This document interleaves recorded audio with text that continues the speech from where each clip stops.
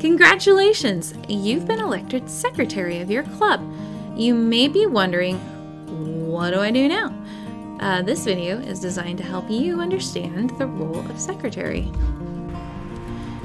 As the secretary, your job is to keep a record of the things happening at your meetings. You will keep a secretary's notebook, which you can download from the KSRE website, or you can make your own binder. You will need to attend every meeting possible. You will also need to be early to those meetings, like 10 to 15 minutes early, so you can get settled and be ready to record important details of the club's activities. You will need to bring your notebook and reliable writing equipment, such as a pen or a pencil, or a note taking device like a computer or an iPad. You also need to have all correspondence, an up to date roll call, and a list of committees, and check over last month's minutes for any unfinished business that may have been tabled.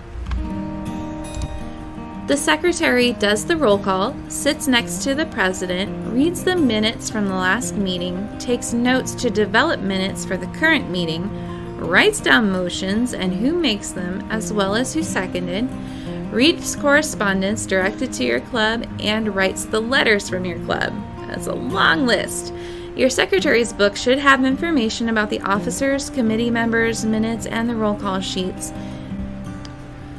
The downfall of parliamentary procedure at meetings is that it is perceived as boring. Officers get wrapped up in their responsibilities and forget they can also have a little bit of fun. The first opportunity for you to get to infuse fun into your meetings is with the roll call topic. Rather than just ask if people are there or not, try to come up with a fun question to answer. Typically, this would look like What's your favorite food? Who's your favorite comic book character? What's your favorite thing to do on a rainy day? Or have them give a brief report of what they may have done since you last saw them, like, how was your summer? People love to feel connected by sharing, and those who are too shy to answer, they'll simply say they don't know or that they're here. There's a long list of roll call prompts available on the KSRE website in the Kansas Secretary's Notebook. One thing that may surprise you is that the secretary does not actually write the minutes during the meeting.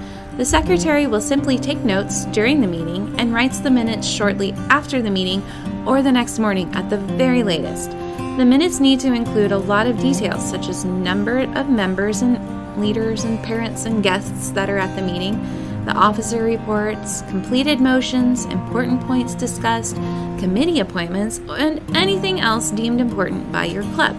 You may choose to have some worksheets ready to fill in, and that will make your note taking a lot easier. I hope this video has helped you understand the importance of your role as secretary. If you ever have any questions, don't hesitate to contact your club leader or our office. We will be happy to help.